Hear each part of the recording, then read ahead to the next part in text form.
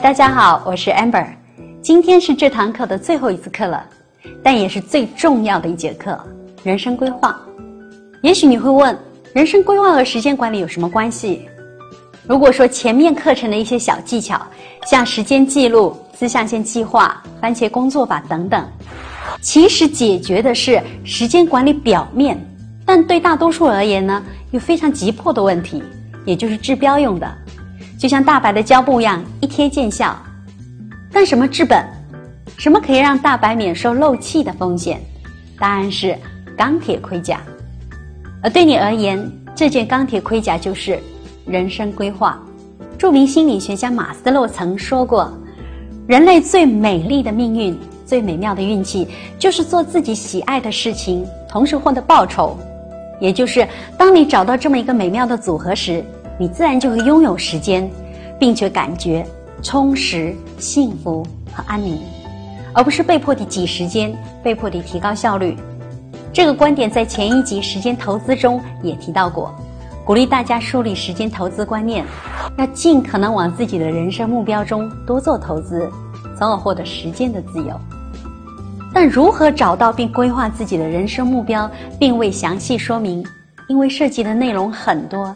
所以把它单独放在这集来解答。OK，闲言少叙，我们来认识一下这集的女主露露小姐，看看又有什么新故事发生。露露小姐在一家相当有名望的策划公司上班，是一名高级文案，并且即将提升。她拥有自己的一部新车，而且还准备购买自己的高级公寓。她工作很努力。每周至少要工作六十小时，但他并不喜欢这样的生活，没有自己的时间，也没有幸福感。每天早上挣扎着起床，然后把自己拖到办公室，就自己并不感兴趣的事情与客户或同事开会，然后撰写各种让他厌烦的文案或报告。对他而言，这就是每天的任务。露露小姐。我看你每天都这么忙，难道你没有自己真正想做的事情吗？没仔细想过。不过我从小学开始就很喜欢摆弄花花草草，喜欢研究植物。那不能找一份和植物相关的工作吗？可以是可以，但是我担心这样的收入会少很多。我不喜欢现在的工作，但为了这份薪水又不得不这样，因为不喜欢。所以面对任务时，我一方面很想能拖就拖，但另一方面我的性格又不允许自己变成这种懒散的，所以我就变成了一个矛盾的怪物，麻利的处理各种我不喜欢的事情。更可笑的是，这个麻利在领导看来是能干，所以。我的活越做越多，越多越做，就跟关在笼子里跑滚轮的仓鼠一样，忙得不亦乐乎，但一点都不快乐。听说你马上就要升职了，升职过后好日子不就来了？不可能的，升职后活更多更难，关键都是我不喜欢的活，就是把自己推进一个更大的滚轮继续跑。现在这份工作搞得我一点自己的时间都没有。更没什么幸福感可言，挣这点钱真心不容易啊！可是又没有什么更好的选择，你说我是不是得这么撑一辈子啊？应该不是这样的，我们还是去问问安德老师看看吧。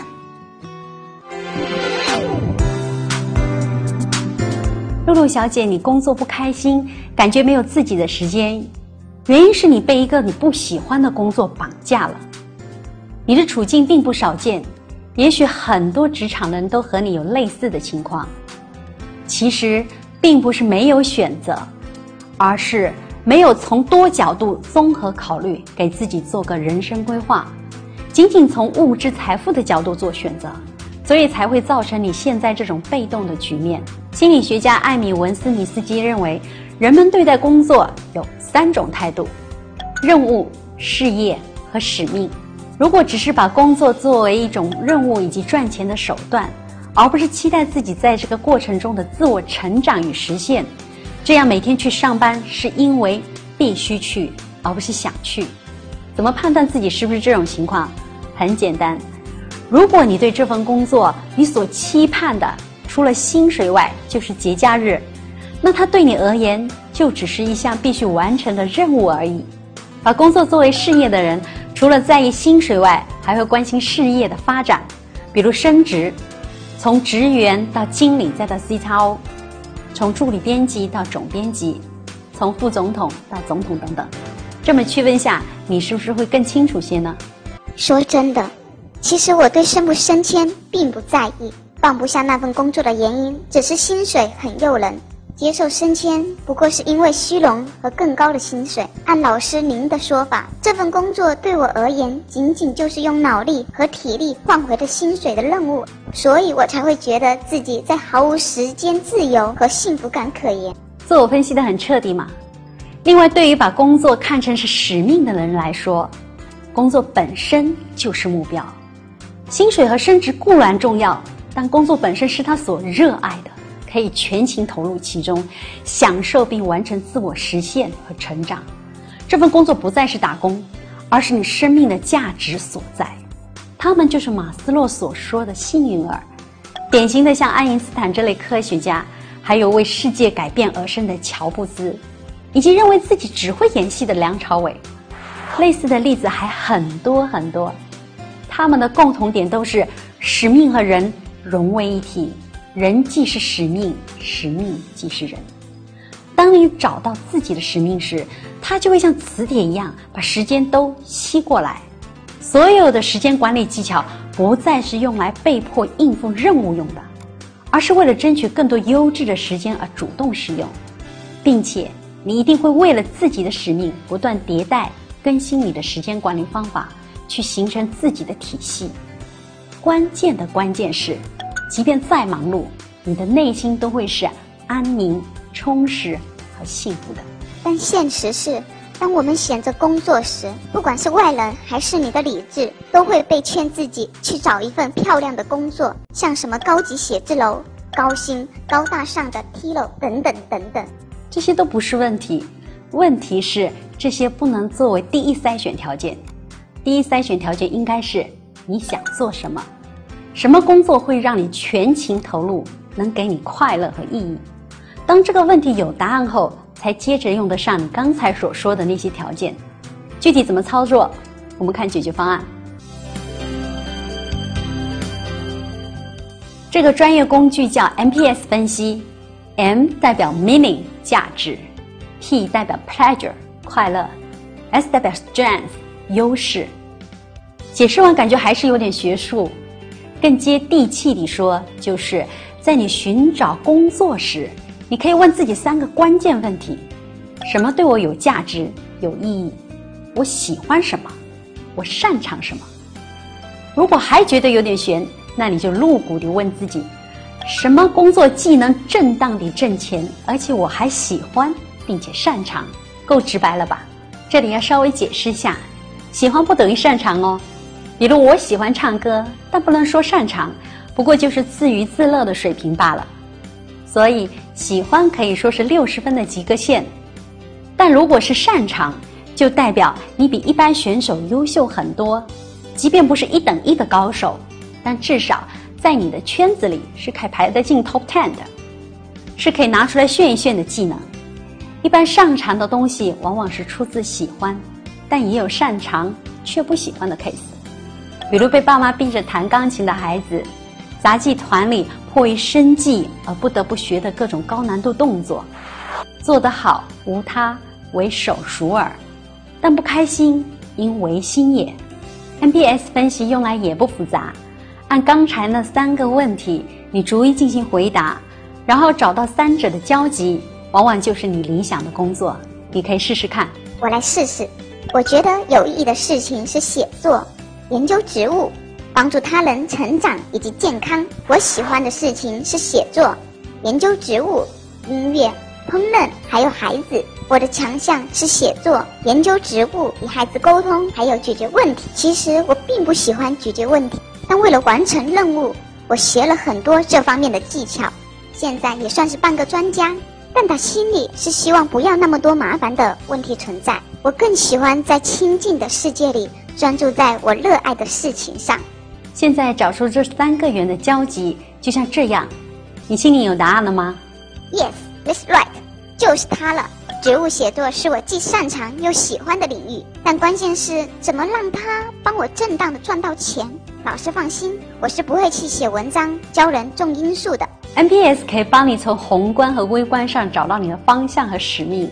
所谓宏观，就是你的使命；所谓微观，就是你将如何实实在在地度过你每天的日子，是喜悦的还是被迫无奈的？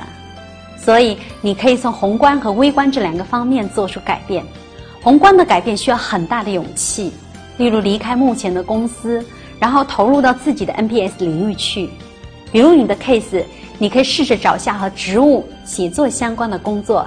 像一些植物类的杂志社或新媒体，或是从事植物教学，你的 NPS 环还显示你既喜欢又擅长和孩子沟通，带领孩子进入植物世界，说不定可以成为你的事业哦。这不但能帮你正当地赚到钱，而且从事自己喜欢并擅长的事业，一定会让你充满幸福感的。我这里只是举例，真实的情况只有你自己最清楚。到底具体的工作是什么？你需要静下心来，反复思考，不断挖掘，才能找到答案。NPS 的作用是给你指出一个大方向。另外，微观的改变就没那么剧烈了，也容易得多。比如，并不放弃目前的工作，只是每天花点时间做自己喜欢并擅长的事情，然后尝试将它们变现。比如，不定期撰写植物专栏文章等等。从中获得满足感和幸福感，可以平衡一下对目前工作的不满。当然，和理财投资一样，风险和收益共存，选择也因人而异，没有好坏，只有合适不合适。现在你需要认真思考下自己的 NPS 指向的到底是什么具体工作，然后我们再往下谈。老师，我想清楚了，保险起见，我先做微观改变。先成为一名植物专栏写手，然后一年后，我想做宏观上的改变，开发一套儿童植物课程，成为孩子们的植物导师，并成立自己的儿童培训事业——绿叶成长营。那你打算怎么实现呢？怎么实现？船到桥头自然直，只管做就是了。话是没错，但你有没有发现，很多人心中不是没有愿望，但往往只是想想而已，或者。三分钟热度，没做一段时间就不了了之。再美丽的愿望，要是不放到每个具体的时间去做，那永远只能是个美丽的愿望而已。所以，我们得把你这个愿望呢放进时间轴去。我称之为人生年表。创意来自熊谷正寿的记事本圆梦计划。感兴趣的话，可以课后找来看看。人生年表其实就是长期目标，从一年到三十年都可以。然后把你的使命量化下去，拆解成时间轴上的阶段目标。比如你的目标是想先成为植物专栏的写手，然后开发一套儿童植物课程。这些目标都不够具体，现在你得把它们拆解到时间轴上去，并且每个目标都要有具体的数字。你先试试看。老师，我的人生年表填好了。你看一下，我想在二十五岁先完成六篇文章，并且创建自己的自媒体，然后二十六岁时继续完成二十四篇文章，并且开发出一套儿童植物课程，接着二十七岁时完成八场讲座以及同步的视频课程开发，最后在二十八岁时将这些内容集结成书，并成立一个绿野成长营。OK，不愧是才女啊，思路很清晰。有了这张人生年表，就好比你有了张人生地图，不会在人生的旅途中迷路了，而且心里很踏实。不过这还不够，我们还得接着往下量化，把年度目标再拆解成月度目标。这是你的着眼点，就是一年的十二个月，看你的年目标如何放到十二个月里去完成。如果不这么做的话，这愿望还只是句空话。OK，我试着列列看。老师，你看一下我列的。我二十五岁不是想先完成六篇文章嘛？现在还剩三个月，所以每个月要写两篇。虽然只能用业余时间写，但不算太难，应该可以办到。然后还有一项任务是创建自媒体，这块还完全不懂，所以我打算花一个月的时间系统学习下，然后十一月就开始测试运行，十二月优化完毕后开始正式运行。这块我还是外行，先这么列着，到时再按需调整。其他二十六岁和二十七岁等等都是类似，就是把他们呢都大概预估个时间，然后都放到时间轴上去。对头，就是这么做的。这里额外提一下，计划真实的作用就是调整用的，边预估边根据实际情况调整。如果你列的计划一版都没改过，可以说那只是你一时激动而已，你没有真的撸起袖子干起来。只要你真干了，计划改个三版四版，甚至十几版都不算稀奇。既然如此，那干嘛这么费时列什么计划？你这丫头怎么这个节骨眼上犯糊涂了？计划是你调整的底稿啊，事情再怎么变化，你都得根据这个底稿随机应变。如果没有底稿，你就很容易受外界影响，被动地做些别人要你做的事情，而不是心无旁骛地主动创造你想要的生活。你看，但凡有点规模的企业，哪个不做计划的？而且越好的企业，计划做得越细致，还有各种趋势预测，直接引领市场潮流。你再想想看。谁不做计划？大概是小商小贩吧，拍脑门做决定就好了。但这样限制也很大，你明白就好了。虽然现在已经列到月计划了，但还是不够。那都只是未来，未来就是没有来，就是虚幻，只有当下才是真实的。所以你还得把月计划再拆解到每天的每时每刻去，特别是当你想用业余的时间去实现愿望时。你要是不为这些愿望专门划出时间来，一句话，再美的愿望都是白搭，都是空话。这个细节虽小，但却很关键，也是绝大多数人败下阵来的原因。等时间再做，绝对是最最骗人的谎言。接下来，你就分配下自己的二十四小时，看这二十四小时要分配给哪些事情，你的愿望要放到什么时间去做。这个步骤非常残酷和纠结，可能你列下来，会发现自己能用的时间少得可怜。这张表我称之为日时分配表。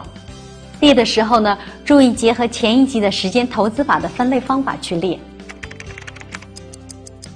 老师，我列好了，真的就像您说的，这二十四小时的分配，我纠结了好久啊，太多的事情要花时间了。如果真想给自己的愿望留点时间，那这二十四小时只能精打细算的用。像我为了每天能腾出两小时的写作和一小时的运营时间，想方设法去挤时间，自然就会早起，自然在晚上就不会过度娱乐。确实是像您说的，只要把愿望落实到每天去，时间就会被自动吸过来。现在明白为什么我说给自己做人生规划是治本的方法了吧？你这么一步一步量化下来，就会发现愿望很丰满，但要实现起来能给你用的时间却骨感的不行。一旦知道这个，你自然就会用上各种各样的时间管理技巧来不断拓展它。哦，对了，忘了说下，日时分配表中还有一到三十一列。是方便大家跟踪自己的实践效果的，你放心。当你初步填完这张表后，一定也是要修改个好几轮的。最开始填的日时安排，不过是现在的你一厢情愿的美好愿望而已，而未来的你办不办得到，还是另外一回事儿。这就是为什么给大家设计的一到三十一列，就是要用一个月的时间给大家跟踪修改用的。修改有两方面。一方面呢是修改你的初步计划，实际操作不了的就要修改，可能有的地方要增加时间，有的地方要减少。另一方面呢是修改你的日常行为，该收心的地方就得收心，该麻溜的地方就麻溜起来。甚至如果你觉得往返两小时的交通太浪费了，都可以考虑搬家。OK，下面我们就看一下你试用这套方法后的效果如何，我们拭目以待。没问题，一定不会让你失望的。这段时间，我不停的优化 amber 老师这套人生规划表的内容，从 MP 而是目标开始，到人生年表，到月度目标表，最后到日时分配表，不断修改，不断实践。一个月过去了，现在基本上我的日常生活能按自己的规划方式进行，也就是说，我过上了我向往的生活。这一天二十四小时里，有我的睡眠，有我的健康，有我的爱好。当然，还有我不得不做的工作。但和以前不同的是，现在的二十四小时，我过得很充实，也很安宁。这是微观的改变。我已经有我的 MPS 目标，明年我打算开始做宏观的改变，把一天中不得不做的那七小时的工作时间，都变成投资时间，全心全意地投入到我的儿童植物事业中。相信我人生年表中的一个个目标都会慢慢实现，只要每时每刻踏踏实实的完成自己对未来的承诺，我梦想终将照进现实。露露小姐的 case 是我一个朋友的真实案例，现在她已经有了自己的儿童植物成长营了，就像马斯洛所说的，他拥有人类最美丽的命运，最美妙的运气。日常生活就是做自己喜爱的事情，同时获得报酬。其实，金钱、时间和幸福并不是互相排斥的，都是生活的必需品。我们要做的是，先找到自己的使命，然后为了这个使命，淋漓尽致地发挥自己的实力，全情投入，落实在每时每刻里。当你的时间都充满价值时，你还需要担心结果吗？时间管理的本质是自我管理，最终的目标是让生命获得时间上的自由以及安宁和幸福。但仅仅靠课程本身是无法让你的生活发生任何实质性的变化的。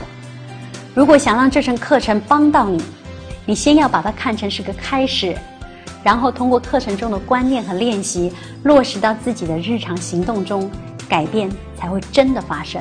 我不认为像改变生活这么巨大的工程会有什么捷径可走，唯有一斧一凿，不断地修正，才有可能实现。自我改变的过程可能会疼，会不舒服，但你终将收获一个更好的自己。琥珀就是时间，时间就是琥珀。到此，我们这十二堂时间管理的课就全部结束了。感恩有你一路以来的陪伴。希望你我在自我成长的路上继续结伴同行。